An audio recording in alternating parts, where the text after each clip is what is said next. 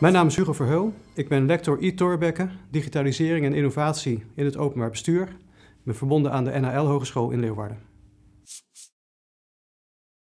Stel, u bent beleidsmedewerker bij een grote gemeente en u houdt zich bezig met veiligheid. U krijgt een aanbod van een hip onderzoeksbureau die zeggen van wij hebben hotspots ontwikkeld op basis van big data gegevens, plekken waar het het meest onveilig is bij u in de gemeente. En dat hebben ze gedaan op basis van social media uitingen, open data van de overheid zelf, bijvoorbeeld inbraakgegevens uh, en zoiets als wifi-meetgegevens. op basis van het tracken van wifi-signalen kun je vaak kijken of mensen zich heel snel bewegen in een bepaalde, op een bepaalde plek in de publieke ruimte. Uh, en dat geeft vaak aan dat ze zich onveilig voelen. Nou, die hotspots, dat is hele interessante informatie voor u natuurlijk. Uh, maar de vraag is, wat moeten we daar vervolgens mee?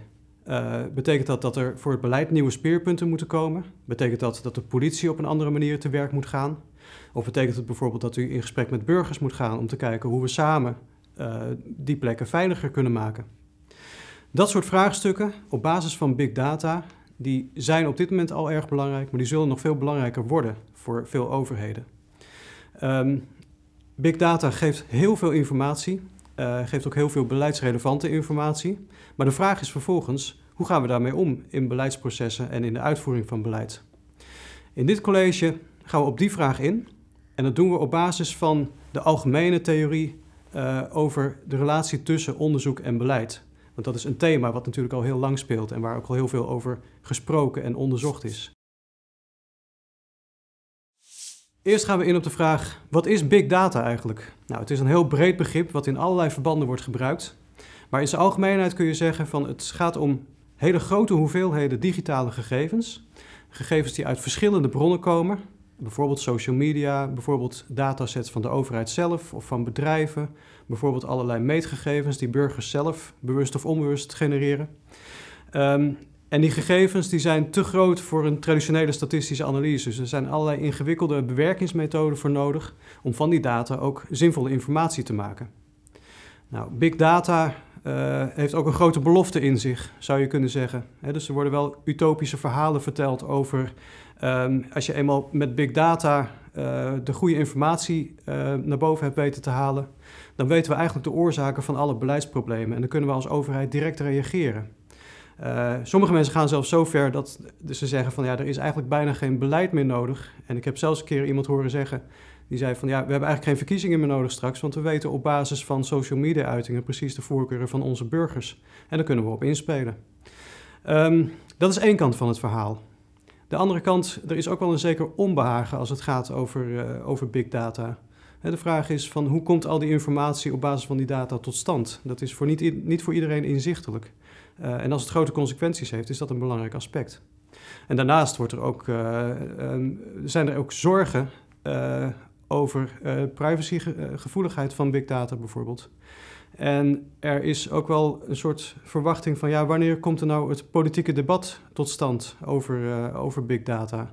als we nou zoveel weten, kunnen we dan ook meer vertellen over de, over de keuzes die we kunnen maken.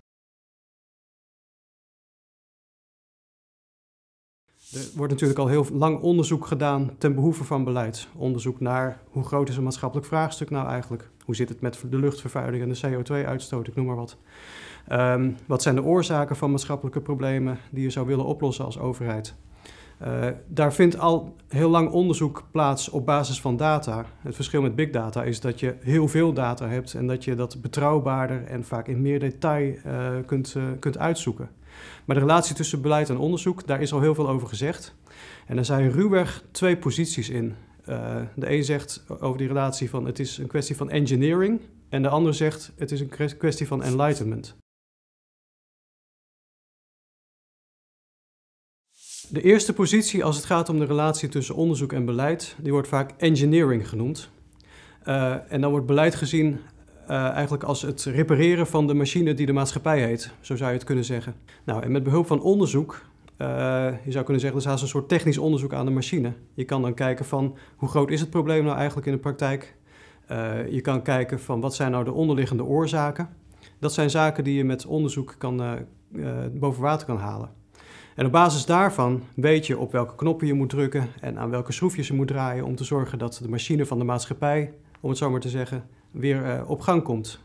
Voor big data zou je bijvoorbeeld eraan kunnen denken, om weer het thema veiligheid uh, erbij te halen, uh, dat je kunt kijken van, we denken allemaal dat straatverlichting dat dat helpt om het aantal inbraken te verminderen. Als je dat heel erg in detail, de straatverlichting en de inbraken in een bepaalde buurt, als je dat goed naast elkaar kan leggen en daar betrouwbare data over hebt, dan zou je kunnen kijken van, nou ja, klopt dat nou eigenlijk wel? En als het klopt, dan zou je meer straatverlichting aan kunnen leggen. Op die manier weet je een onderliggende oorzaak van beleid uh, en kun je op basis daarvan uh, je beleid en je sturingsinstrumenten aanpassen.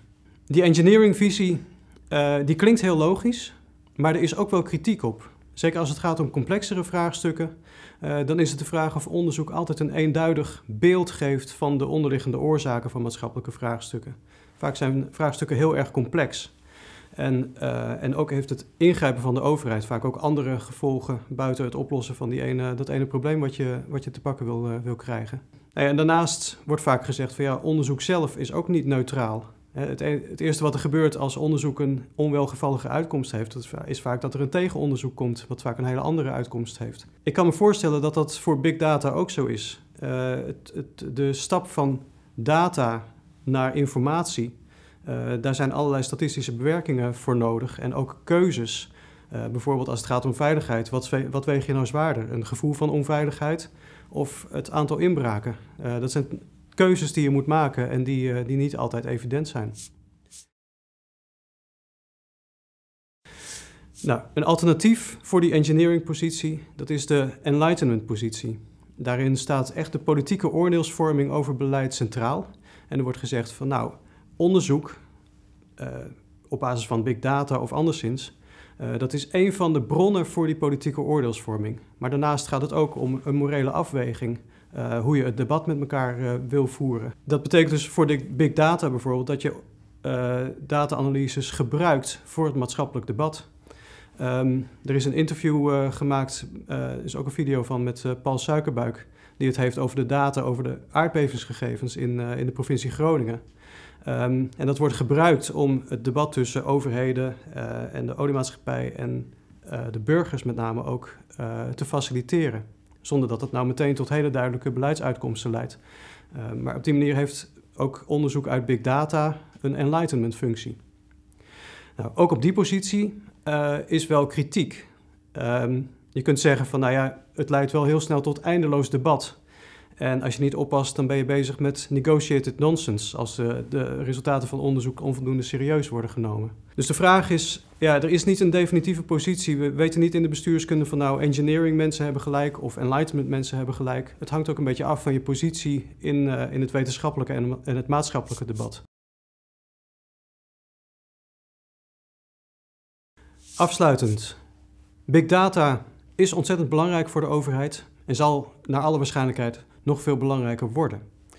Uh, het is de vraag hoe we daarmee omgaan. Um, uh, het lijkt nu af en toe alsof big data als een black box wordt uh, gebruikt.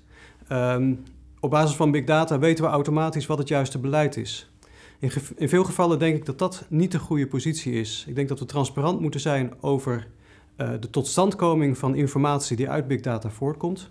En ook transparant moeten zijn over de keuzes die daaruit voortkomen. We moeten ervoor zorgen dat statistiek bij de statistiek blijft en politiek bij de politiek.